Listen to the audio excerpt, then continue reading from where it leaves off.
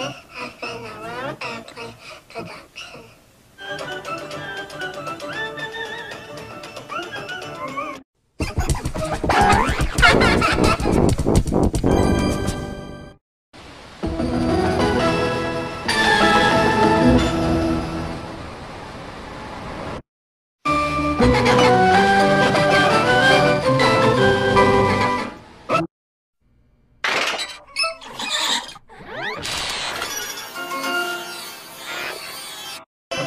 up